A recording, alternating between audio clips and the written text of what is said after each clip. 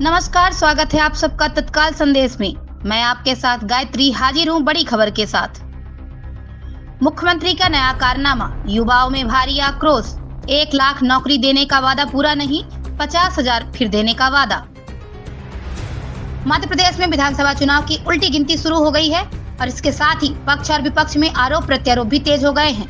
लेकिन घोषणा वीर के नाम से प्रसिद्ध मध्य प्रदेश के मुख्यमंत्री शिवराज सिंह चौहान जो अपनी किसी भी यात्रा में जेब में नारियल लेकर चलते हैं और जनता का मूड भाप कर बिना अपने मंत्रालय और वित्त विभाग से समझे हुए घोषणाएँ कर देते हैं इसी कारण 2013 से 2018 के दौरान लगभग 5000 घोषणाएँ करने वाले मध्य प्रदेश के मुख्यमंत्री शिवराज सिंह चौहान की 3000 घोषणाएँ रद्दी की टोकरी में चली गई हैं।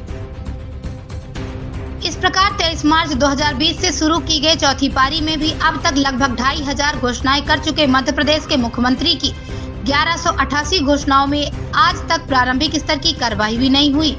इसका मुख्य कारण सरकार की नियत का है, क्योंकि सरकार यह मानती है कि इवेंट बनकर किसी भी काम को करने से कुछ दिनों तक जनता का एक विशेष वर्ग जो उससे लाभान्वित होने वाला है, वह खुश रहेगा।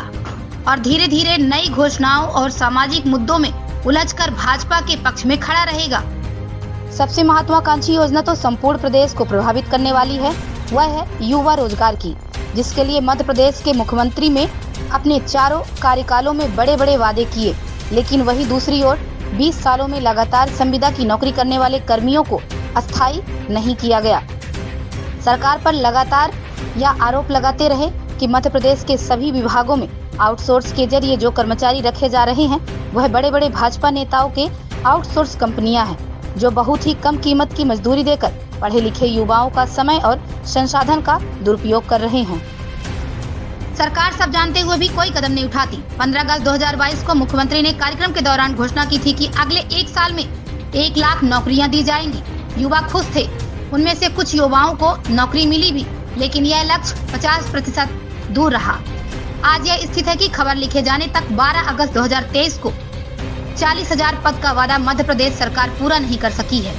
लेकिन सरकार और सरकार की मशीनरी साठ हज़ार को इस प्रकार से प्रचारित कर रही है, जैसे सरकार ने अपने आंकड़े पूरा कर लिए हैं और एक नई घोषणा पचास हज़ार नौकरियाँ की दी गई हैं। देखने वाली बात यह होगी कि साठ हज़ार नौकरियों में से ज़्यादातर नौकरियाँ कंपटीशन पर आधारित थी और उनमें से कई के मामले कोर्ट में चल रहे हैं पटवारी भर्ती घोटाला व्यापम की तर्ज पर ही था, लेकिन यह मध्य प्रदेश का दुर्भाग्य है कि व्यापम एक को भूलने के बाद व्यापम दो की बात की जा रही है।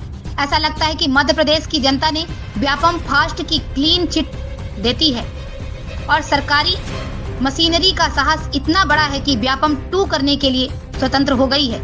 युवाओं भर को नहीं सरकार की कई योजनाएँ असंगत है, जिसे उसी के वित्त विभाग और प्रशासनिक अधिकारियों ने विरोध किया, जिसमें से मुख्य रूप से लाडली बहना योजना, जिसमें सरकार के वित्तीय दबाव के कारण विकास के कार्य रुक गए हैं। जो विकास के कार्य दिखाई दे रहे हैं, वह मात्र पुराने प्रोजेक्ट हैं, जिनमें भी लगातार पैसे की कमी बनी हुई है। टैक्स का सारा पैसा सरकार की असंगत घोषणाओं के पीछे जा रहा है। जबकि आज सड़क में चलने के लिए रोड टैक्स के साथ साथ सारी सड़कें निजीकरण को दे दी गई है। मध्य प्रदेश की सभी प्राइम लोकेशन की ज़मीन विकास के नाम पर सस्ती दरों में बेची जा रही है, लेकिन चारों ओर हो रहे कंक्रीट के जंगल और घोषणाओं के माया जाल में जनता फंसी हुई है। वहीं विपक्ष में भी इस बात को तटस्थता से रखने में कमज़ोर साबित हुआ है, जिसका परिणाम 2018 में कब कम अंतर से जीत और उसके बाद अपनी सरकार गवा देना देखा गया है।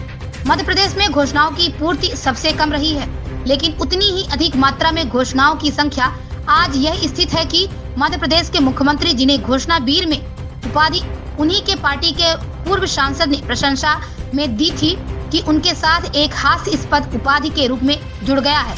लोग कहने लगे हैं कि मुख्यमंत्री शिवराज सिंह चौहान जब भी घर से बाहर निकलते हैं तो वह अपने जेब में एक नारियल और रोली रखते हैं। जहाँ भी समझ में आता है, वहाँ घोषणाएँ करके उसे नारियल को फोड़ देते हैं और प्रसाद बांटकर अपनी प्रशंसा मीडिया, सोशल मीडिया के माध्यम से करके भूल जाते हैं। घोषणाओं की संख्या इतनी अधिक होती है कि कई बार तो पिछली घोषणाओं को दोहरा दिया जाता है।